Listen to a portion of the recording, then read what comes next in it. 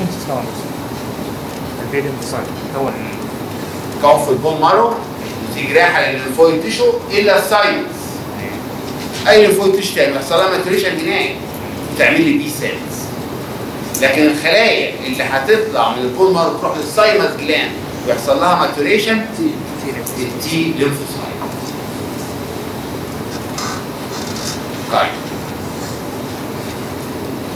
but we're not the answer. We wouldn't stop that. He tried, we tried, the same as the bin and تكون اقتراح المحاضرات السعيدة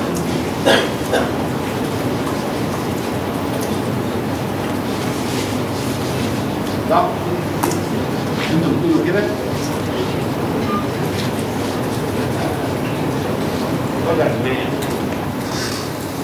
طيب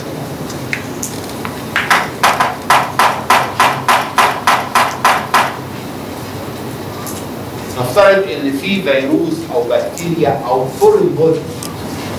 دخل الجسم سواء كانت بكتيريا. سواء كان فيروس. سواء كان foreign body. دخل الجسم أول ما بيدخل ال foreign body الجسم بيمشي لل tissues اللي هو مثلا حصل عندي نقط قطع وحصل التهابات الالتهابات دي هتكون البكتيريا هتيجي داخلة وفيروس هيجي داخل.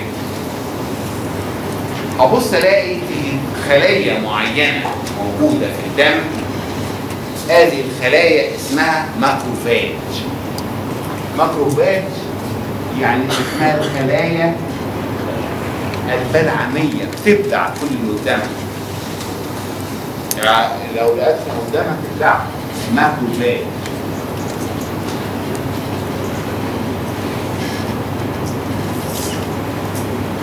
ال macrophage ده البكتيريا دخلت في الأنسجة تجريح ال macrophage ده هي البلعات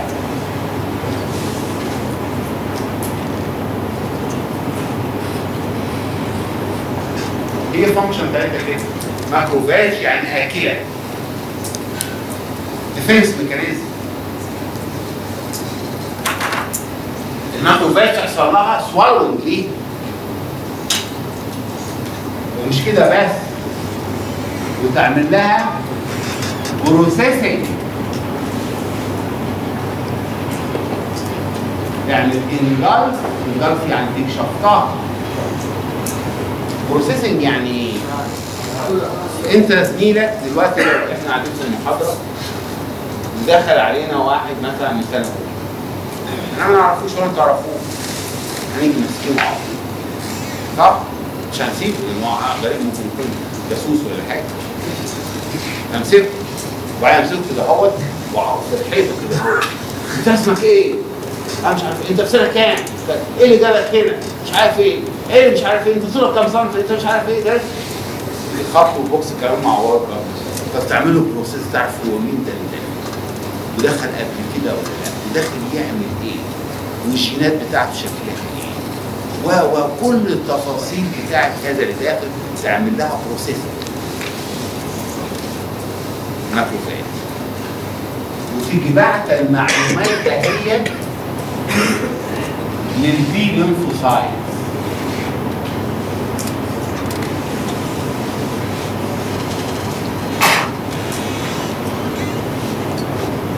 تبعت تربين lymphocyte لأن هي اللي هتتنقل عن طريق ال lymph خاصه ال lymph node ال lymph node فيها مين؟ فيها ال B lymphocyte تقول لا والله ده دخل فيروس والفيروس ده هو virulent virulent يعني قوي جدا وما دخلش قبل كده أول مرة يدخل وهيسبب لنا مشاكل والجينات بتاعته كذا كذا كذا و و و و و و و تيجي إيه؟ ال B lymphocyte ديت عقل. عقل جدا تاخد المعلومات دهيت وتنقسم إلى two مجموعات إلى مجموعتين two groups group منهم يتحولوا لل memory cell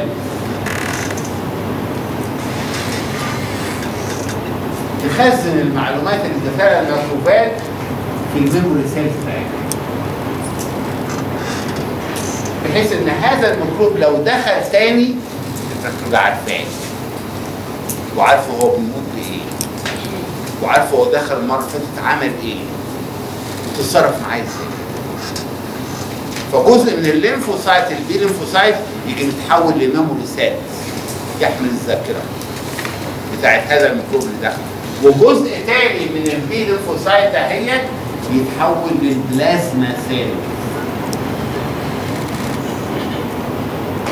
وال plasma cells دهيت هتاخدوها في ال histology. ال nucleus زي cart يعني إيه center حاجات زي كده مش مهم. وتيجي البلازما دهيت تيجي عاملة ال antibody تيجي ال antibodies رايحة لمين؟ للفيروس اللي داخل تهاجم تضرب attack موجود تتحرك.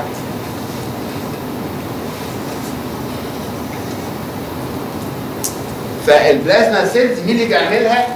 ال B lymphocytes طب عشان تتعمل وإن هذه ال plasma cells هي تتكون من البيلوفوسايت محتاجة ال T cells. محتاجة إشراف التي بيسموها T helper لأن ال T cells أنواع كتيرة جدا. T helper cells ده نوع من انواع ال T lymphocytes لازم وجود هذه الخلايا عشان تتحول ال B ل plasma cell ال T lymphocytes أنتوا حاجة؟ أنا مش فاهمين طيب.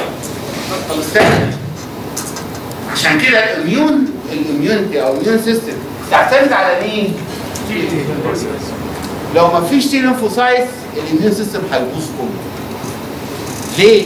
دخل الميكروب ومات الميكروبات عملته processing okay ودت المعلومات ال lymphocyte ال lymphocyte اتكونت جزء منها بقى memory cells والجزء الثاني غير قابل انه يتحول لمين؟ لأن مفيش مين؟ T cell ولكن لو شلت ال thymus gland ال immune هتختلف تماما لو شلت ال T cells ال immune هتختلف تماما مفيش immune مين فال T cells مهم. وال T cells مرتبطة بمين؟ بال thymus بال thymus لو thymus مفيش T cells خلاص ال immune راح خلاص. ال T cells ديت فيها أنواع كتيرة. في natural killing cell يعني تدخل الخليه الغريبة مثلا فيروس تيجي ال T cells ال natural ديت رايحه ومدمراها مباشرة من غير anti ولا حاجة. وفي. بتاكل الأورام. ولها كذا نوع ال T cells ده مهمه جدا.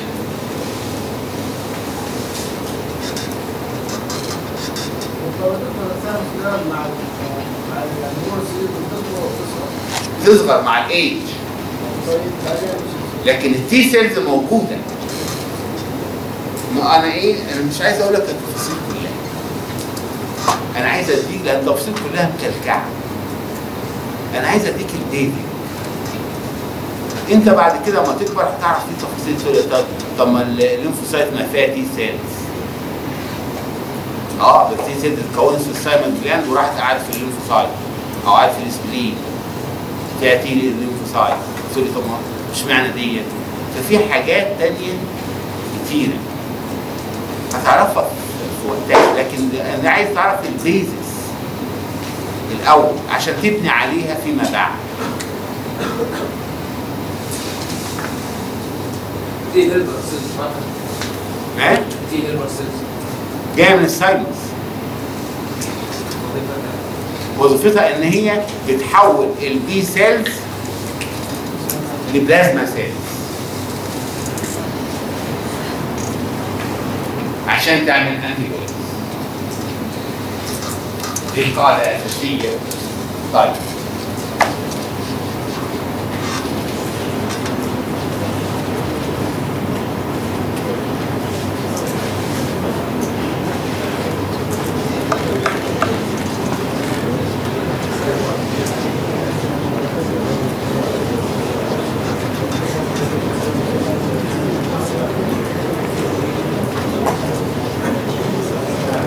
طيب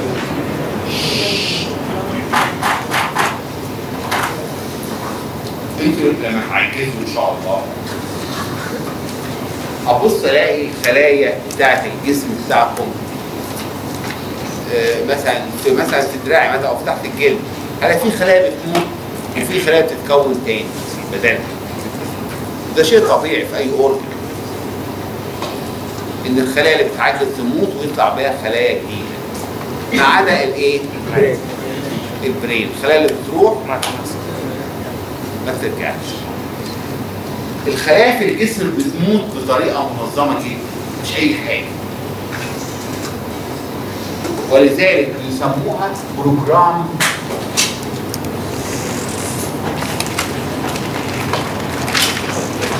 سيمبل أو يسموها apoptosis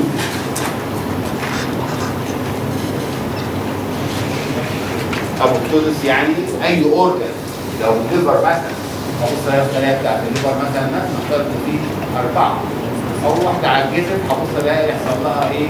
تكرمش و nucleus تكرمش وتموت وتتغير وخلاص. مات وتتكون واحدة جديدة دي راحت الخلايا دي تنقسم وتيجي عندها واحدة جديدة. وهكذا دي تعدل ويعملوا وهكذا. فده بروجرام لسيل ديس نورمال الانسجه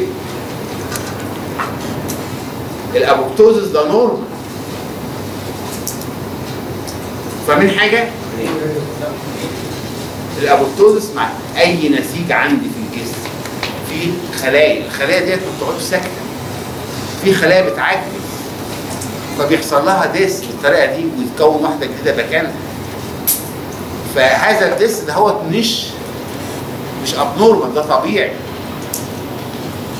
ويسموها programmed programmed يعني مبرمج. الجسم مبرمج إن دي تموت النهارده دي تطلع بدلها دي تموت النهارده تطلع بدلها فلما بتموت الخلية بص الاقيها بتكرمش وتتكسر وتتقطع وتموت. ده اللي بيسموه ابوبتوزس طيب. طيب. طيب.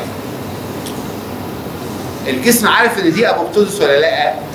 عارف إن دي ابوبتوزس وعارف إن دي apoptotic cell وعارف الخلية دي بتاعته أصلا. عارفها بس ماتت في ظروف غامضة.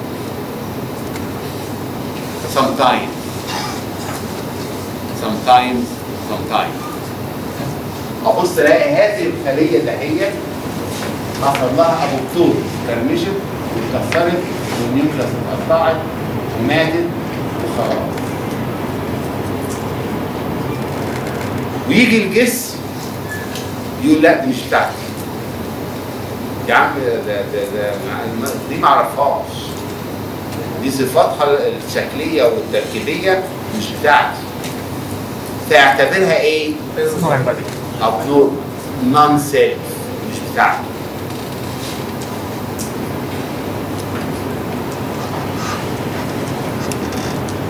non-self يعني حرام. حرام يدخل البيت هتعمل فيه إيه؟ مش هتسيبه قصدك انت هتجري تطلع والبيت تسيبه لكن الجسم مش هيسيب. آه. دي بقى طالعة ال macrophage تعالى موت الراجل ده اعملوا له processing عملت له processing روح لل B cell قول لها processing دي كذا كذا كذا كذا. ال B cell بتتحول لل plasma cell ال plasma cell بتطلع ال antibody والتي هي- T helper اهي وال antibody دهيت خانق مع ال- الجسم الغريب ده بيسمى ال antigen. أي جسم غريب سواء كان بكتيريا فيروس أنسجة دخل في الجسم الجسم بيعتبرها non-self بيسمى antigen. ودي antibodies يحصل antigen antibody reaction ويكون المرض الجديد. طيب ال memory cell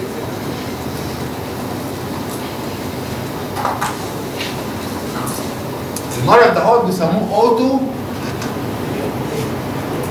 autoimmune disease لأنه منه النفس أوتوماتيك.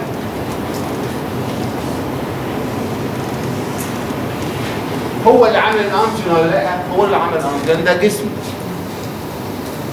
الخلية ماتت اتكسرت بس هو اتهبل. دي مش بتاعتي لأنها اتغيرت تركيبتها خالص على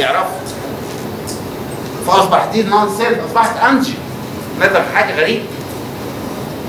تتباع على الميكروفات زي الطريقة اللي إحنا عملناها والميكروفات تجرعها للبي سيل وال B cell تتحول ل plasma cell عن طريق ال T helper زي ما عملناها تيجي عندنا دي ال antibody المضادات ال antibody الأجسام المضادة. ال antibody دي بتتخانق مع ال antigen تعمل لي ال auto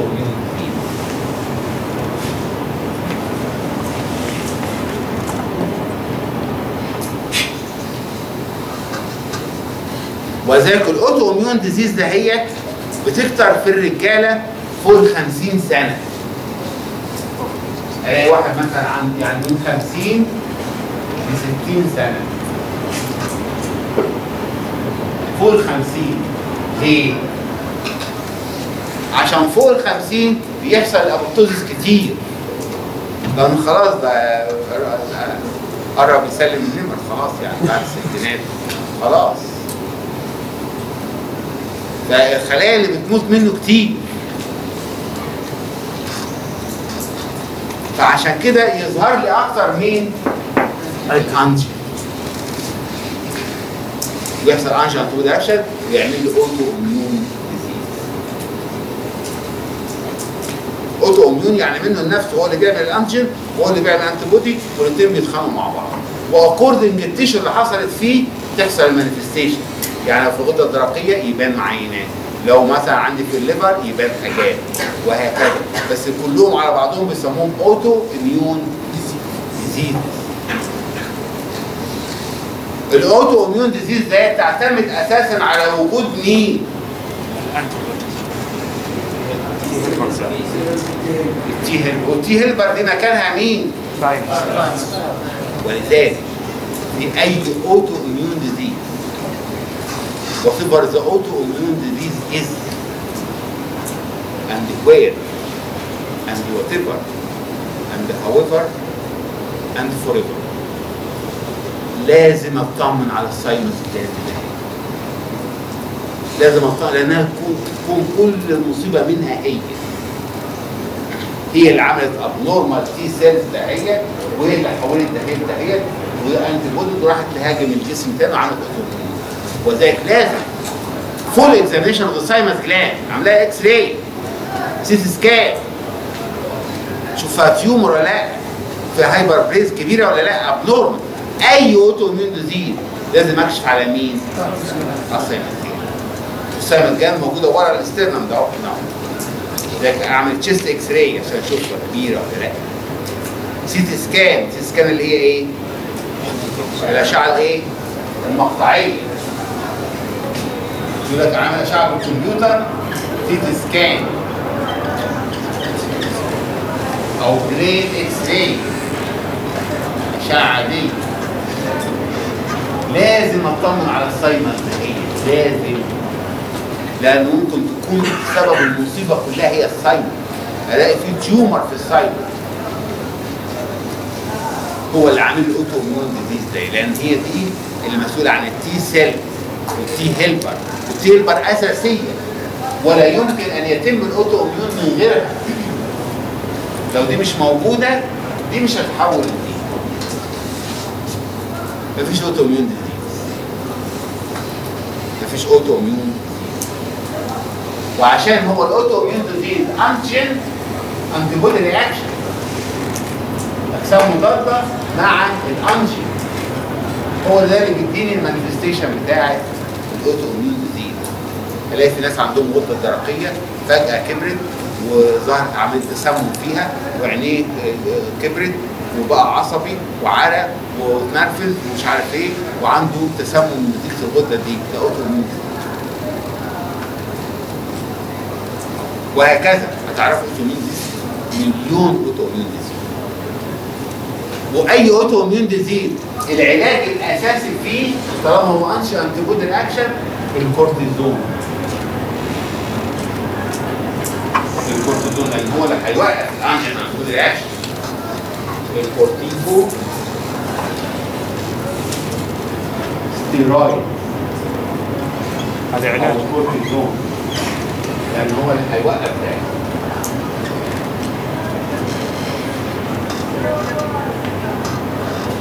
هذا يعتبر مفيد ولا ضار؟ إيه؟ هذا يعتبر مفيد ولا ضار؟ اللي هو الكورتيكوستيرويد إيه. اللي هو الكورتيكوستيرويد الكورتيزون؟ ال cortico ال corticosteroid اللي هو ال corticosteroid ال corticosteroid ده الكورتيزون؟ ده علاج لأن هي خناقة ما بين ال antigen antibody reaction اللي بيوقف الخناقه دي الكورتيزون.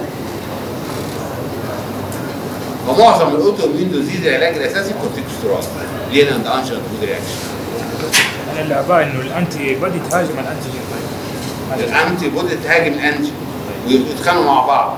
يتخانقوا مع بعض أما يتخانقوا يديني ال manifestation بتاع ال disease تظهر بقى التسمم يظهر عينين تطلع وهكذا.